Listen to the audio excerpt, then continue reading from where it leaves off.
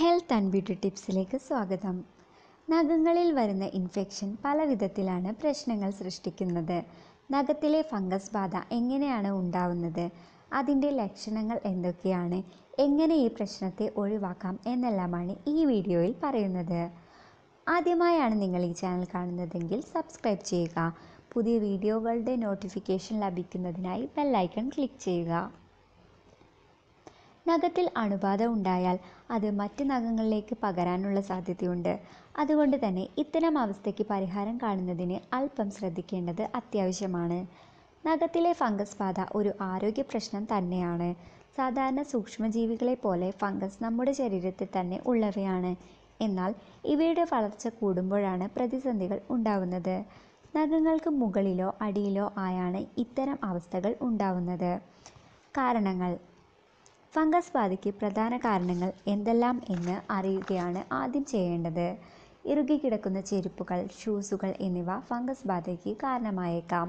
കുളങ്ങളിൽ കുളിക്കുന്നവർ ഇറുകിയ പാദരക്ഷകൾ ഉപയോഗിക്കുന്നവർ പ്രമേഹ രോഗികൾ നഖങ്ങൾക്ക് പരിക്കേറ്റവർ രോഗപ്രതിരോധ ശേഷി കുറഞ്ഞവർ എന്നിവർക്കെല്ലാം ഫംഗസ് ബാധ വളരെ കൂടുതലാവാനുള്ള സാധ്യതയുണ്ട്.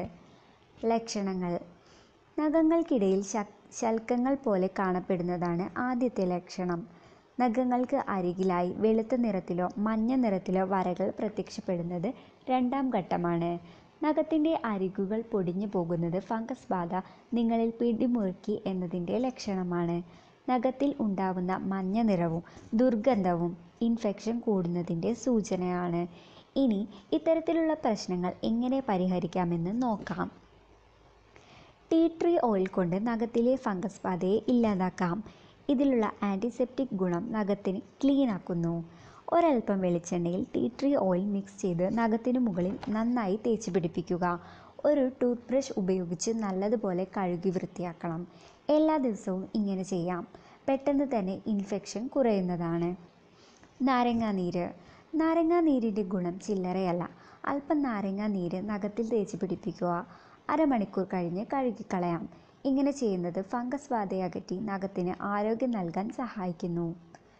നഖത്തിൽ ഈർപ്പം നിലനിൽക്കുന്നത് ഫംഗസ് ബാധ കൂട്ടുന്നു. അതിനാൽ നഖങ്ങൾ എപ്പോഴും തുടച്ച് വൃത്തിയാക്കുക. ഈ വീഡിയോ ഇഷ്ടമായെങ്കിൽ ലൈക്കും ഷെയറും ചെയ്യുക. Thanks for watching.